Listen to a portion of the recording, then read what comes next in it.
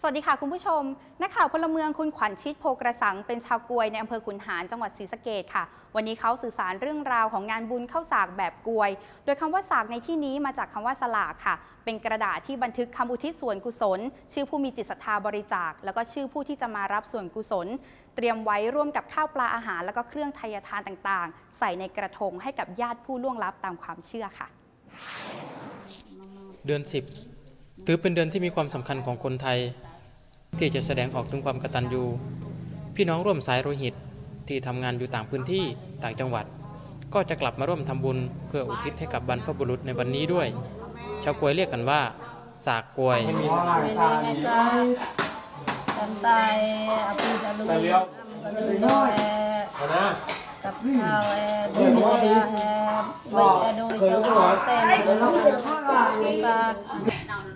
หลังจากญาติพี่น้อง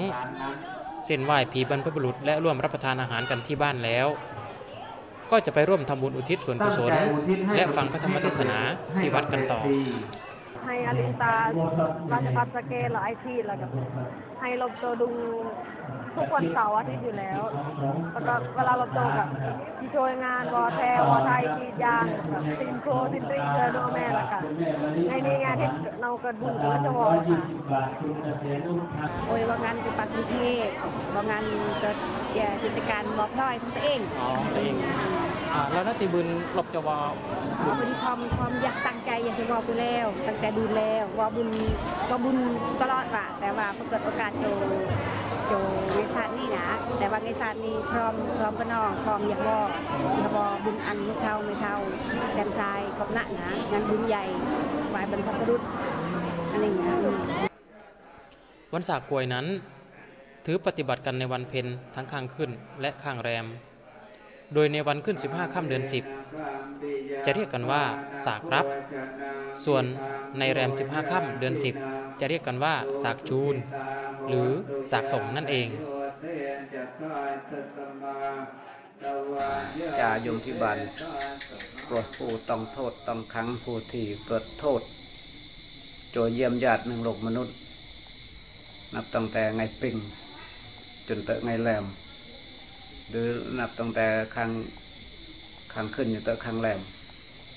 ก็เลยนิยมกล้วยเลยนิยมวอในเดือนสิบครั้งขึ้นกละกันจับเกิดเอ่ยกันเนาะเอ่ยแต่ครั้งแรมหนึ่งว่าปล่อยปล่อยเบาบางก็จริงแต่ก็ไงปัดนี่คือการจุลมตัวก็ดีเนี่ยกละมาเดียวชุมชนชาวกวยเราจะให้ความสำคัญในวันสากทั้งสองวัน ซึ่งก็เหมือนกับว่าเป็นวันแห่งครอบครัวเลยทีเดียว แม้โลกจะเปลี่ยนไปมากสักเพียงใดก็ตาม แต่รูปแบบการปฏิบัติของชาวกวย ยังคงสืบสารอยู่จนปัจจุบันกอนกวยสเกต กลุ่มอนุรักษ์วัฒนธรรมกวยตำบลโพกระสัง